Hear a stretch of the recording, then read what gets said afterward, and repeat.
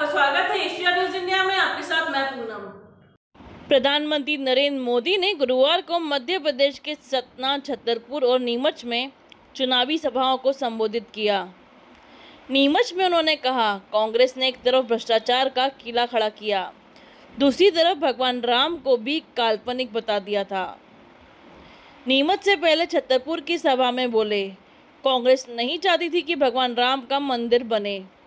इन्होंने बुंदेलखंड को बूंद बूंद पानी के लिए तरसाया। इन्हें सौ साल तक तरसाइए। सत्ता के लिए तरसाकर सजा दीजिए। सतना की चुनावी सभा में पीएम ने कहा, अयोध्या में जिस भक्ति से हम प्रभु श्री राम का भव्य मंदिर बना रहे हैं, उसी भक्ति से गरीबों के घर भी बनाते हैं। जिन्हें पीएम आवास नहीं मिले हैं, उन्हें मोदी की गारंटी है कि उनका घर भी बनेगा। तीन दिसंबर को सरकार वापसी पर पीएम आवास का काम तेज़ी से शुरू होगा।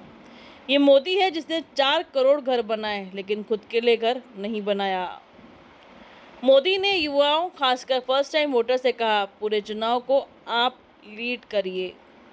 इसी के साथ बने रहे एशिया न्यूज़ इंडिया के साथ, धन्यवाद।